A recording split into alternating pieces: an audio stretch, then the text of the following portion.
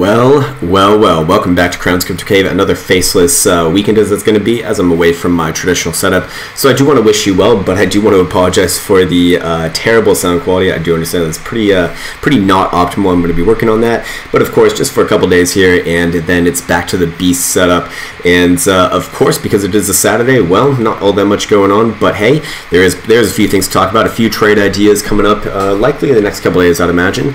And with that said, as always, want to wish you the best the best, the happiest of the happiest, and uh, let's get into the live scene right here, right now, as the teleportation has been initiated. There we go. Bitcoin once again in all of its glory. As you can see, let me just make sure that I'm still recording, and screen over here is working. Okay, good. Okay, awesome, great. There we go. And uh, and as you can see, Bitcoin actually having a pretty damn good uh, close on the daily. We did hit the target that we spoke about yesterday night at the uh, at the 8200ish level. Well, I mean 8188 uh, spot 87 on stamp. Close enough is close enough. Again, I don't see these say these numbers to be 100% exact. I see them to get around the ballpark. And uh, yesterday when we, when we, were trading right around 79.50 or 7900 in the morning, well, that was you know a nice nice $200 move. So there you go. Uh, overall uh, Bitcoin just looking constructive on the higher time frames. We have the daily right here, still above all major moving averages with the golden cross on the way. Again, the divergence between all these major moving averages here, you do see all of them pretty much splayed out. The 200 exponential is kind of the last one to migrate above the signal of the blue 377 exponential moving average.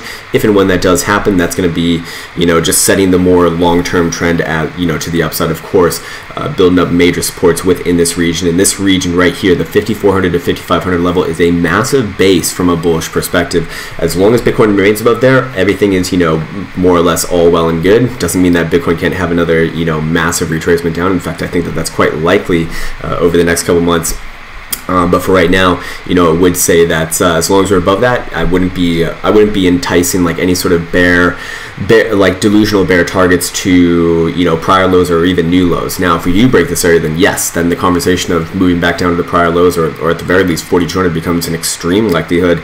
Um, but for right here, right now, uh, Bitcoin consolidating above not just this level, but also a major uh, you know a major level from let's go in the three day perspective. So I just want to show this very quickly, and let me actually take these guys off again. We do see this white 200 simple moving average. Bitcoin consolidating above this, uh, you know, above this, actually having a very good close yesterday night at uh, at 8 p.m. Eastern Time on the three-day total time frame. And to me, this is you know consolidation above a major support, which builds up the general case. Kind of back testing this a little bit, we do see that the white 200 simple moving average from a three-day perspective has been a gate, uh, has has been a damn good gatekeeper for generally bullish and generally bearish activities. You know, for a market phase, you can see that we when we lost it over here, generally bad you know, sent, sent back down to your red dildo capitulation death.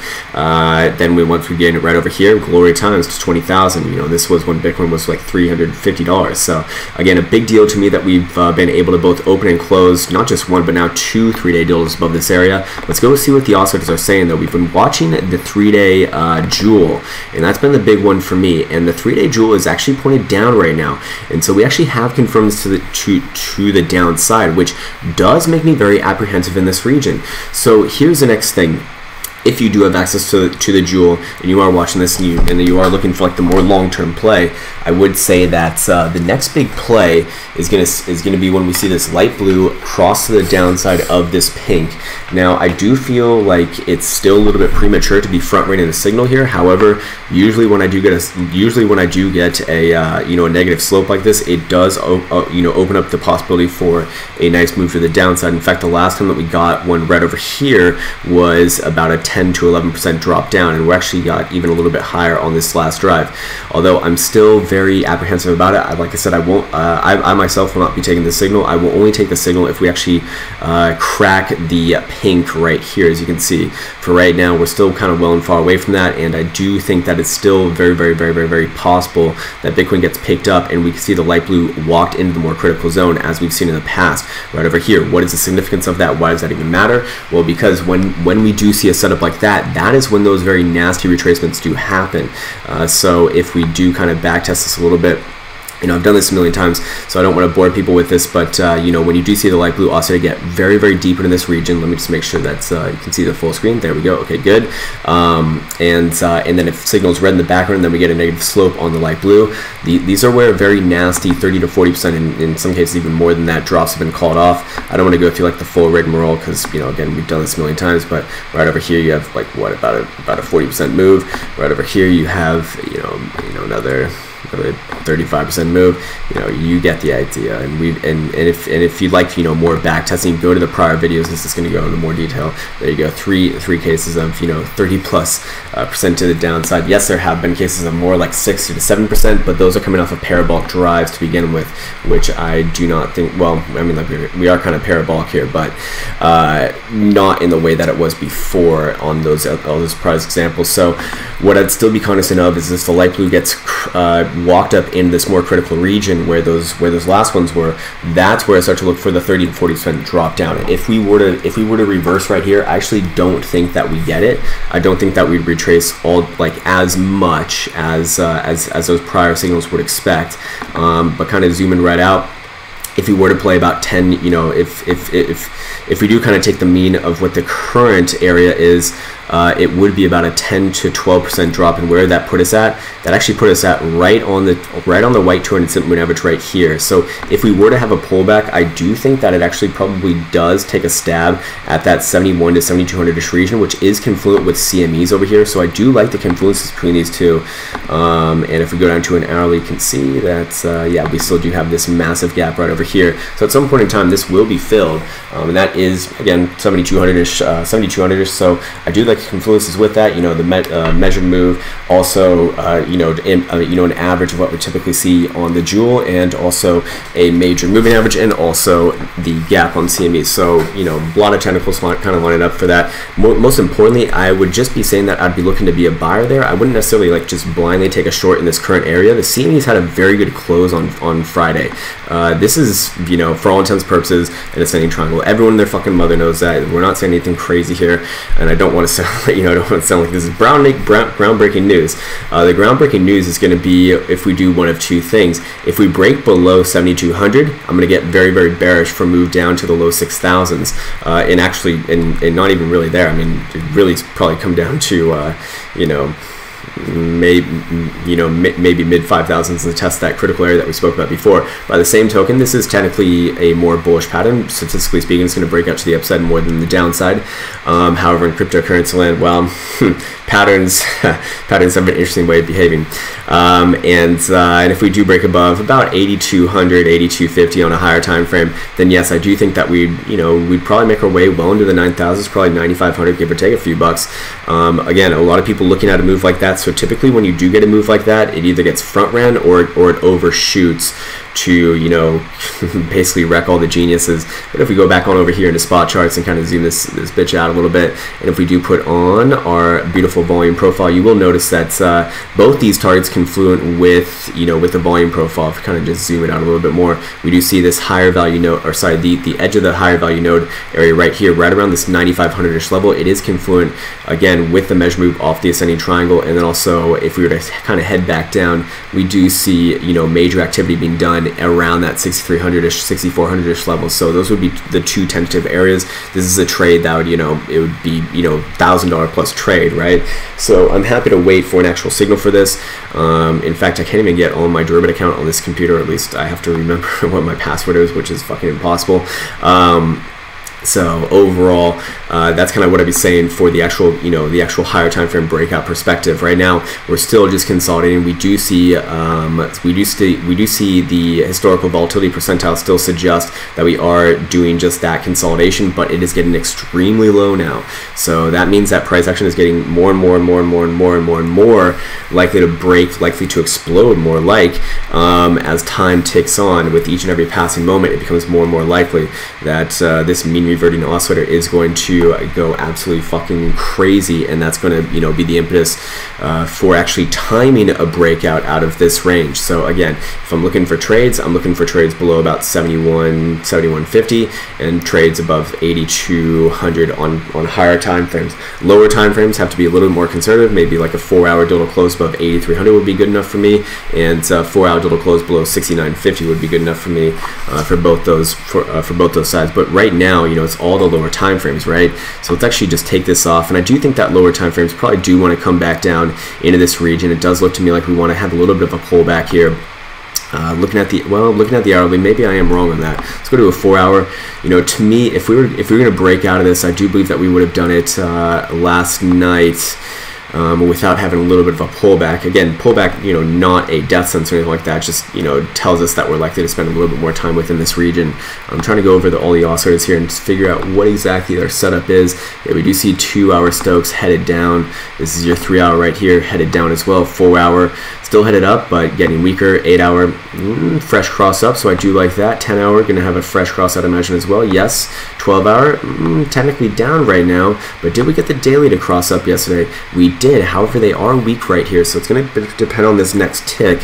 Uh, really, what really what the Bulls want to see is they do not want to lose basically just even the low of yesterday's uh, daily diddle at 7,800 bucks. If we lose the low of yesterday at 7,800 dollars, then yes, I do think that this retracement does get a little bit more done to the downside. But uh, looking at the 12-hour here, we do have support right around 7,900, so I would imagine that uh, this area would be defended if, if, if Bitcoin does get down to around 7,900, probably does have a nice little scalp bounce, um, and I do think that lower time frames are kind of lining up with a move down there.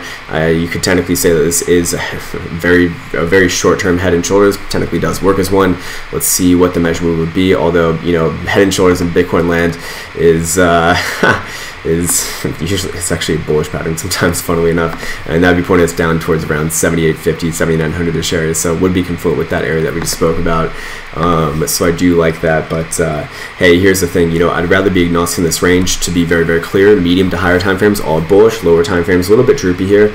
Um, and I do think that uh, we'll have to kind of check on the other majors. But if I was just looking at Bitcoin I would say mm, probably do have another sweep of like 7900 and then we'll see if we bounce there. If we fail to bounce there, then uh, next level is going to be about 7750-ish area. Should line up with the 12-hour 21. This one's this one's been walking us up the whole way through we do see, sorry, the, tw- the 12 hour yellow 21 exponential moving average right here, uh, coming in, yeah, right around 7,700 and going to be rising over time. So as long as Bitcoin holds this one, I would say that the overall formation of this being a bullish reaccumulation pattern is intact.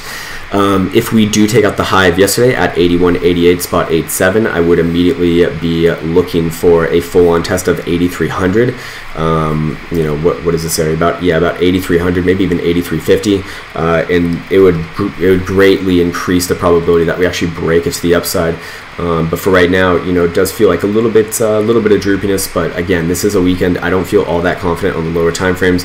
What I can say from a medium time frame perspective is is exactly what I just said right there. If we take out, um, if we take out, if we take out like 79.35 to the downside, I would be looking for a move towards uh, 79. Well, that's not very helpful. It's like wow, 30 thirty fucking dollars down. Great, great call. Uh, yeah, I get, you know, I get that. It's, it's, it's. I'm, I'm, I guess I'm just kind of showing that there's really also not that much, not that much to be done right now. The big, the big play is going to be the breakout, obviously. Um, but if we do get take out the upside of this one again, 81.88, then yes, I would be looking for about a hundred, hundred fifty dollar move to the upside and potential to break too to the upside, which obviously would open up the floodgates for a move about a thousand plus dollars higher. So, again, um, a little bit of patience here is going to go a long way. I'm, I'm, I'm not really in any real positions. I'm still holding my account.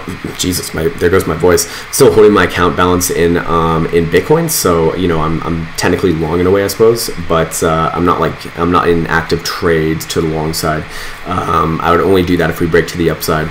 Um, here. Anyways, uh, like I said, if we do, you know, if we do get this low, then yeah, probably 50 bucks lower to support. Um, does does kind of imply that we will come all the way down to about 77.50 likely.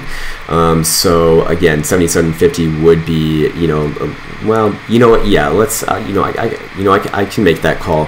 I think that's a fair call to make. Um, if we do take out 70, if we take out 7,900 to the downside, we will see uh, 77.50, 7,700 a share, and then I'd be looking for a big bounce there, and then you know, see if, as long as we hold this yellow 21. Uh, I would say that definitely this is a bullish reaccumulation pattern. I mean, I think that that's quite obvious. The whole way through, volume signature is confirming this as well. You see the nice orderly drop off in volume here. Usually a good sign that we're in a nice, uh, nice consolidation. This one obviously angled to the upside, so it would have an upside bias here. But uh, I do want to be very careful in how I say that because overall we are in a holiday weekend. Is it likely to break right now or not? I'd say. Mm, it is getting pretty uh, uh, overall it's getting pretty likely to break just because we are getting near the apex of this triangle right?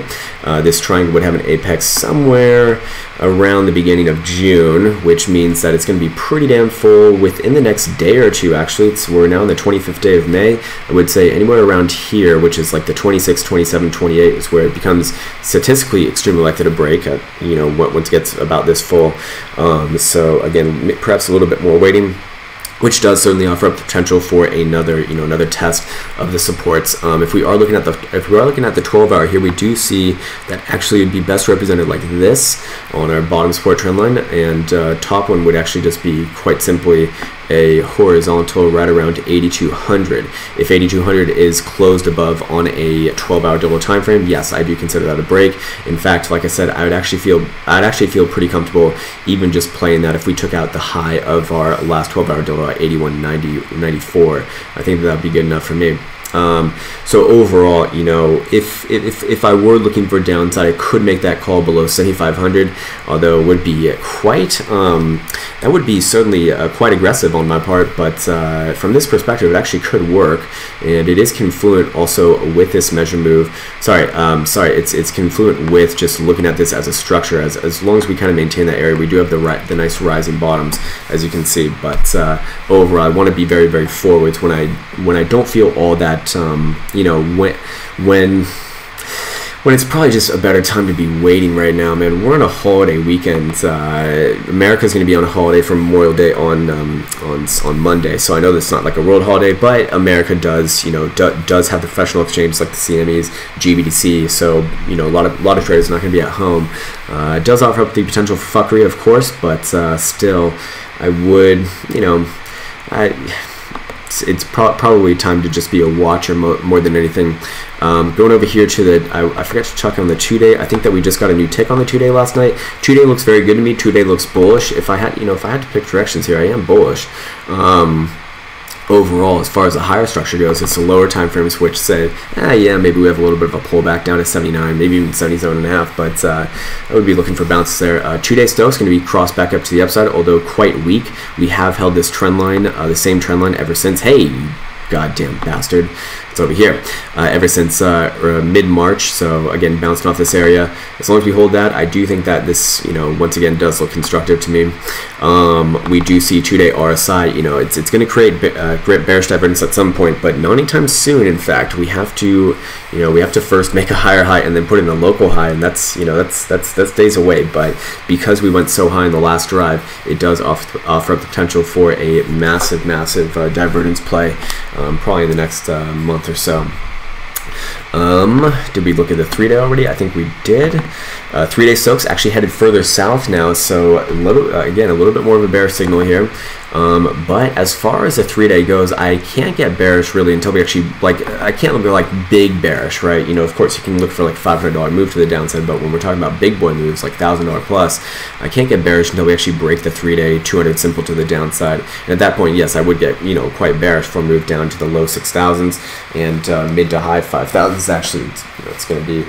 I'd imagine that that would be pretty interpreted pretty badly by the market. But I, again, I have to I have to be very clear in stating this. I'm not bearish right now. I am bullish. I've been bullish for a while, and I'd still be bullish. Uh, going over here to the weekly.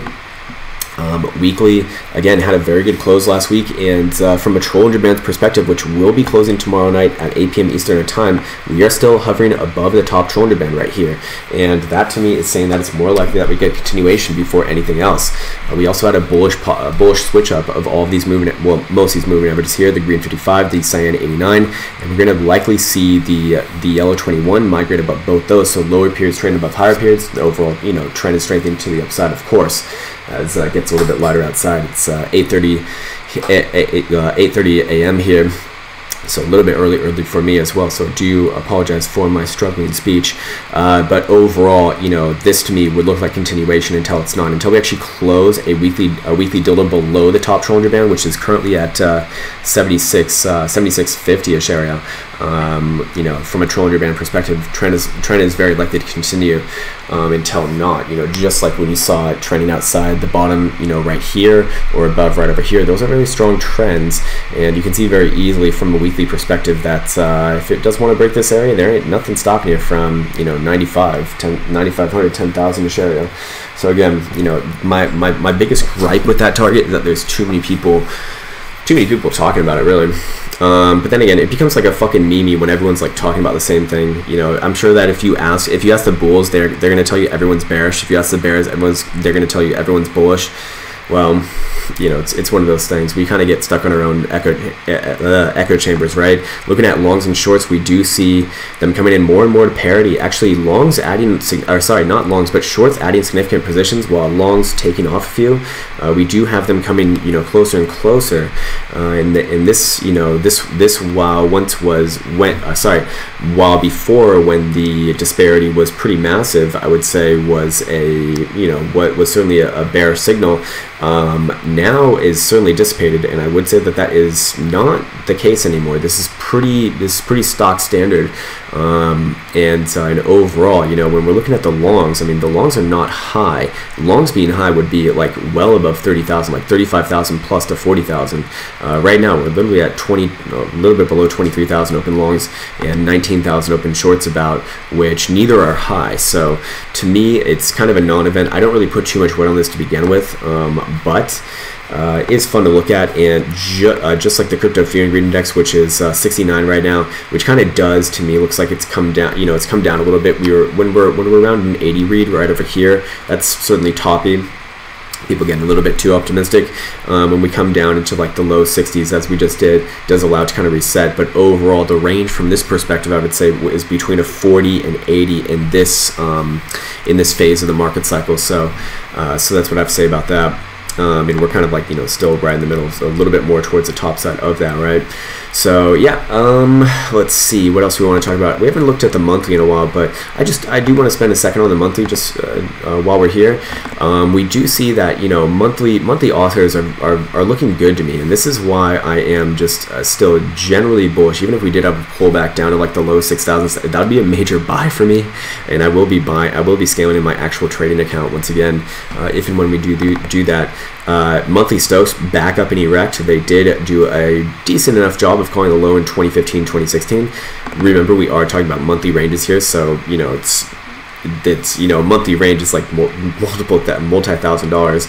Uh, monthly RSI going to be taking out the exponential likely in the next five days, confirmed, and uh, that's going to be a big deal to me. If we come back down and test that exponential, I'm going to be a, a major buyer on that as well um, for both long-term hodls and just and just trading positions.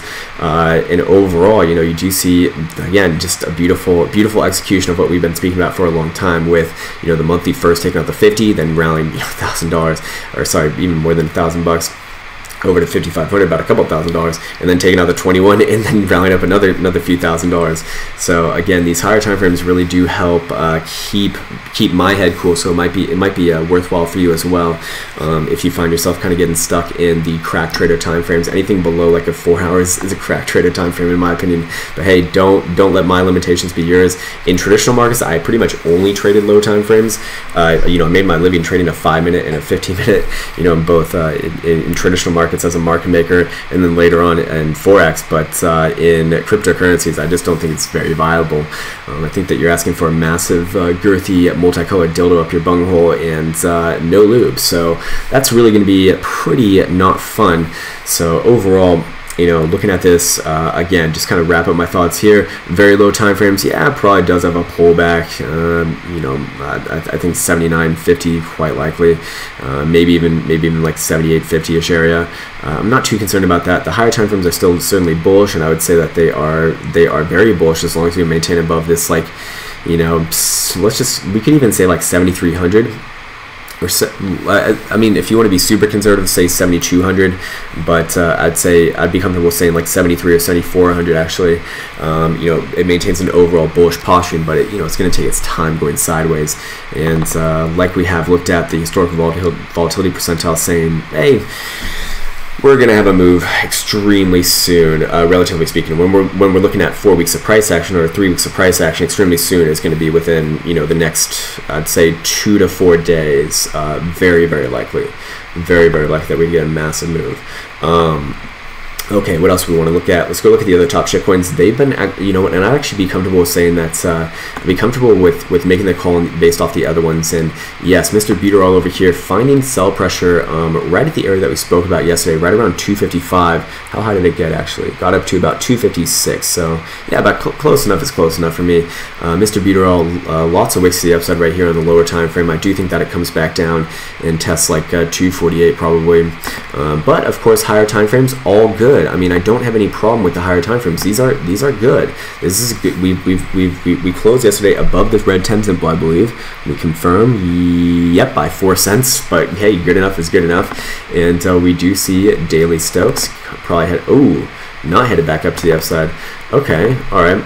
Um, so yeah, we are kind of at a crossroads here, I suppose, then, because I do want to see continuation sooner rather than later. Yes, and the 12 hour kind of reveals all. So as long as we maintain above 246 and a half, I do think that this one does get picked up. Any pullback uh, in this is likely to get bought. Um, however, if we do lose 246 and a half and not even just like close below it, just tick below it, then I do think that we have first uh, first a very quick move down to 240 but you know, and then we'll kind of then we'll kind of figure it out from there. But uh, I would still give the nod to the bulls here. This does look like a bull flag to me. I think that's fine, and as long as we hold this red 10 simple, I you know I do think that you know this area gets bought and we do move higher back towards 265 to, or sorry 260 260 to 265 region. Uh, we can nail it down a little bit more, maybe like 261 to 264. We'll call it. Um, overall, it is a bull flag, so we can make a measure move on it, and I've already gone ahead and done that. And it's pointed much higher towards, uh, I believe, the 330 level.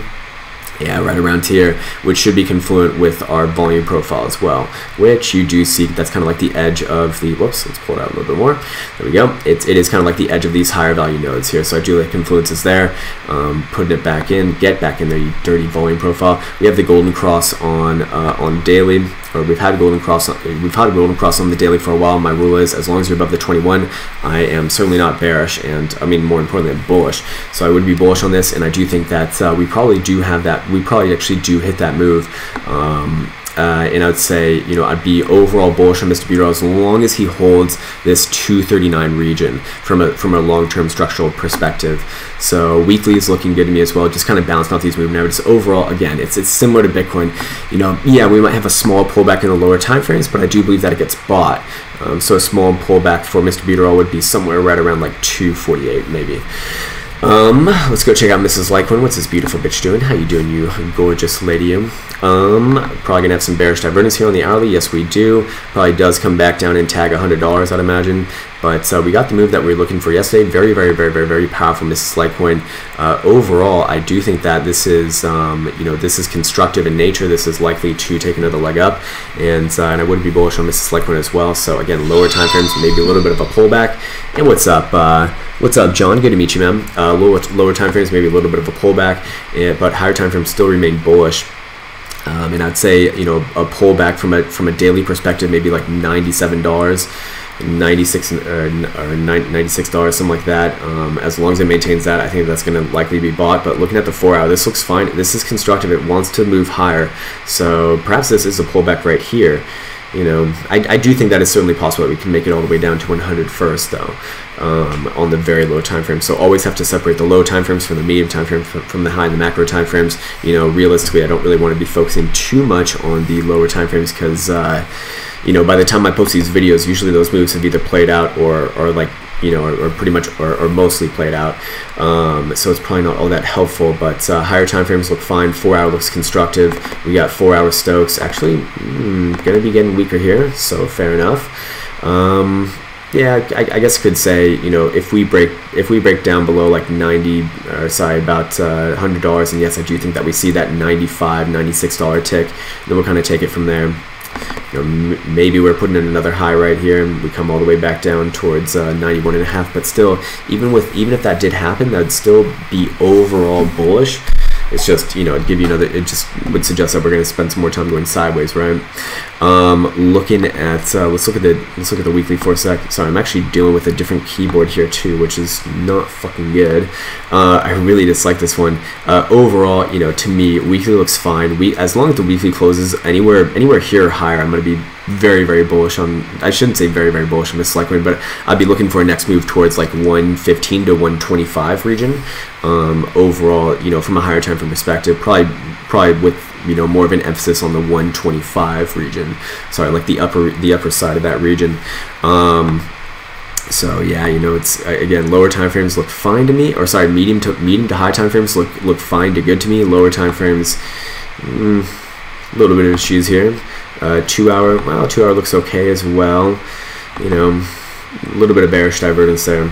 So yeah, I mean, two hour bearish divergence uh, could get a little more nasty, maybe down to 97 and a half bucks, but you know, I want to be very clear and say this. It's not that like I'm not like that. I'm looking for this to break to the downside, just maybe a pullback um, until we actually violate some critical levels, which is going to be more important to just look at Bitcoin to begin with. You know, if Bitcoin shows some some some major weaknesses, then yes, then then then it's time to get bearish and everything. But for right now, not so much. Um, yeah, as, as long as long as Mrs. Litecoin uh, maintains from like a long like a long term perspective above sixty six and a half dollars, everything's fine. Uh, from a from a shorter term perspective, about 87 and, 87 and a quarter is the magic number. If that area gets lost, then we probably move down to like 76 and a half. Um, but for right now, you know, not not too big of an issue. Let's go check out traditional markets for a second. I am curious where they closed out the week. A little bit of an upwards close, uh, but you know, as a little bit of an up close, but I don't consider this a good close for traditional markets. Uh, let's go to the weekly. Uh, weekly did not break the 21, so I can't get too bearish off that. But if we do open this next week, if, if we see on Monday, a, or sorry, not Monday, but Tuesday, a gap down open, if we if we even just open below the low of this prior week at 280 and a half, uh, I'm going to get pretty damn bearish for a move down to the mid 270s, about 275, 276. But uh, for me, the most important thing right now is the monthly. Does the monthly close like this? If it closes like this, I'm bearish. If it closes, um, if it closes like above 285, I'd be neutral-ish. Um, but uh, yeah, if, if, it closes below like 284 or, any, or, or, anywhere here or lower, I'd be bearish for move back down to uh, about 269, 270 region. Um, again, I'd still be waiting on this one. We would have major bearish divergence on the monthly uh, RSI if that did happen, and this would also look like a, a pretty nasty hunt as well, which would imply counter trend movement uh, likely occurring um, soon. You know, swing pattern failure essentially.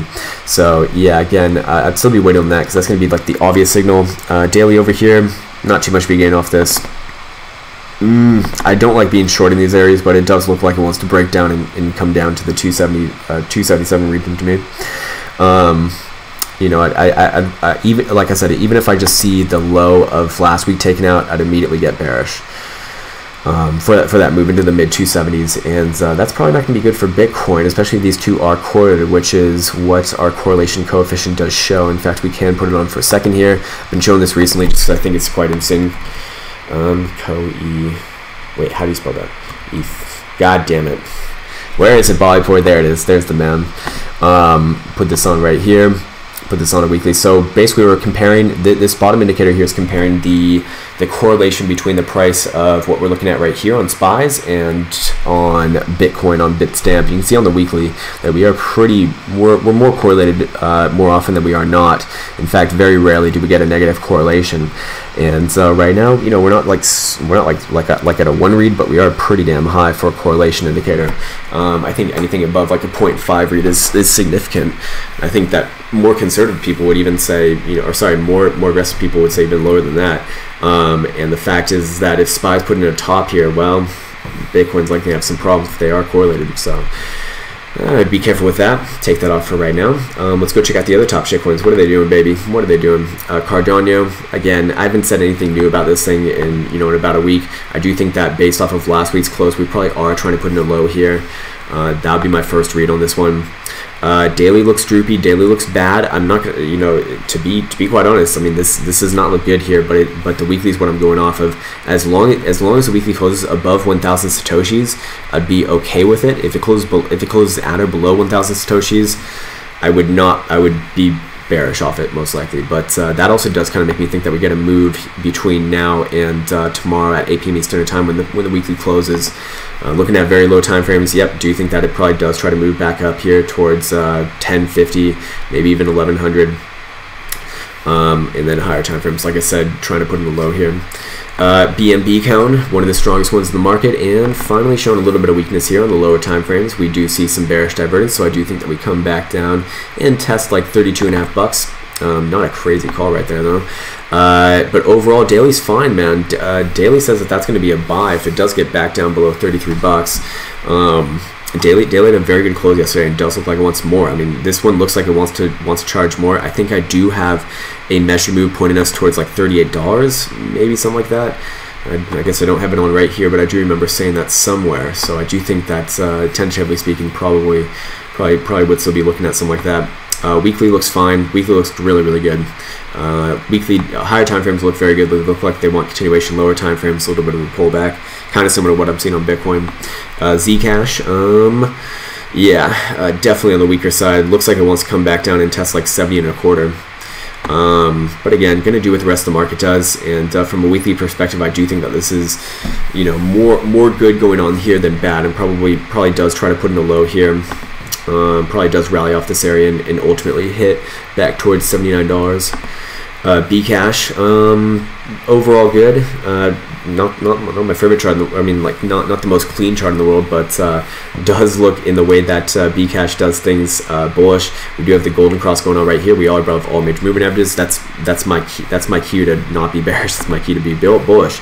We do see weekly resistance right around the $500 region. So I would say that that is a tentative target if we do get the whole market breaking up. Uh, four hours you know, again, we do see an obvious rising trend line along this uh, say 89. So uh, if we did have a if we did have a major pullback, it would be looking somewhere right around there. Uh, Tron Cash, what's he doing? Uh, working his way up. I do think that this one does try higher, uh, probably back towards the what is this two spot nine region. Um, yeah, daily's okay. And yeah, it kind of makes me think that the rest of the market, you know, mo most of the market's looking something like this. Same thing with with weekly, we do see an overall bottoming formation here. So, uh, so I do think that Tron's kind of you know put in put in like major lows overall, but going to take its time, right? Um, going back to the daily for a second, yeah, probably looks fine. I mean, got the golden cross above above the 21. You know, you, you know my rule. Uh, Neo Cash, what do we got on Neo? Mm, looks uh, on the weaker side, kind of like Zcash. Uh, if we do have a little bit of a down, I'd be looking for a move back down to $11, but probably follows the rest of the market. Probably does try another run at 1270. Uh, um, so yeah, lower time frames a little bit bearish, higher time frames looking like it's trying to put in a low and probably does work its way higher towards uh, $15.5 over time. But that's, you know, that's a weekly. It's going to take a long time. EOS uh, give you a beautiful chance to rebuy right around the weekly 89. Um, and I do think that uh, this thing, pro, you know, looks bullish to me. This, this, this, this is a flag right here, and we can make a nice little measure move based off this. Oh, I guess I've already done it. Uh, let's let's go back and zoom out. Where's this measure move pointing towards? It is pointing towards mm, seven and a quarter. So I do like that target. And overall, this this one looks bullish to me. If this thing came back down to uh, six and a quarter, I'd be a buyer there. But uh, to me, it's it's grinding to resistance right now. We do see daily Stochs about to cross. Ooh, they are cross the upside, but uh, they're weak right now. Um, but a long day to go, and uh, to me, this is this is more bullish than not. As long as we maintain the 10 simple at uh, six and a quarter, if we do break back down below uh, 585, then yes, I would be more bearish on this for a move all the way down here into this region, like low fives. But uh, I think that that's less likely to happen right now. Uh, Ripple Cash, what's we doing? What are we doing, Mr. Ripple's Cash? Uh, a lot of people have been talking about a golden cross on this. There's no golden cross on this, like anywhere near. Um, I don't know where people are getting that from. Um, again, it, a little bit more of a sloppy chart.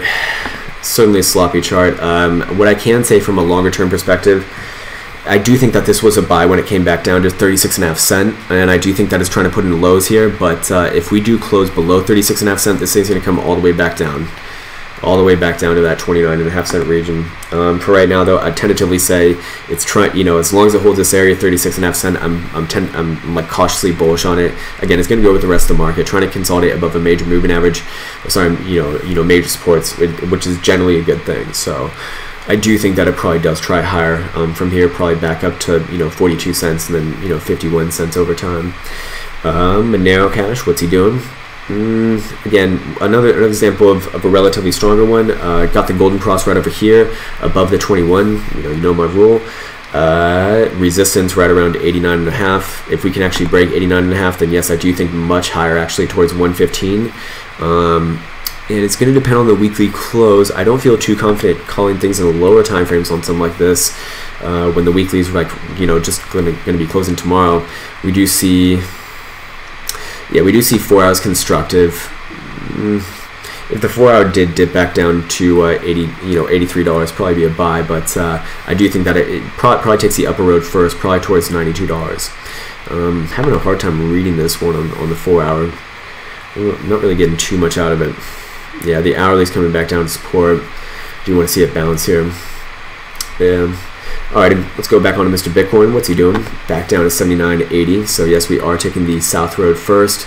And as we spoke about before, there is a little bit of a measure move on this formation, I think down to the 7900-ish level. So I do think that we get that move to 7900, and then we'll see if we bounce there. Uh, if the bounce if the bounce is good and takes us back above uh, 8000, then I would get bullish for a move back up to 81 8150 in the more immediate time frame. So that's that's kind of kind of how to play the low time frames right now. Do you think that we I do think that we come back down here though? Um, I'd only see like a bigger short trade if we do break below 70. What, what was the daily area? If we break below like seven, mm, that's that's too far. What about the 12 hour? Yeah, 12 hours says we, we have some we have some decent downside if we break below about 7800. Um, but again, I'd still I'd still be playing the overall formation. I don't really think that it's too appropriate to be playing uh, lower time frames right now. When the higher time frames are about to give you about a thousand dollar trade uh, four hour support somewhere down here, like again 7900. Yeah, so I do see do see a few things coming in that region. Um, but overall, you know, I don't think I don't think the money's to be made on the lower time frames right now. The ranges are tightening, and uh, it's a high and, and because we are getting so fucking close to this uh, thing being full, becomes extremely likely to break. So that's the next big trade for me. Anyways, anywhere below uh, to kind of wrap that up, anywhere below about 70, 7,200 on the CMEs, and yes, I'd be bearish for a move down into the low 6,000s. If you want to be more conservative, I'd say 69.50 would be the actionable trigger, but I'd be making decisions at 71.50 to 7,200. Uh, for the upside, I would be looking at a move, uh, a 10 hour, 12 hour uh, dildo close above um, 8,200, and I'm bullish for a move uh, much higher, about a thousand bucks higher. Um, maybe four hour dildo close above uh, 8300 would be a little more conservative a little bit more appropriate. But for right now you know it's, it's a holiday weekend. Uh, lower time frames probably do pop back down to 7900 and we'll kind of figure it out from there. But uh, that's all i got for right now. I'll be back on tomorrow with some more video action. Uh, looking forward to seeing you there and take care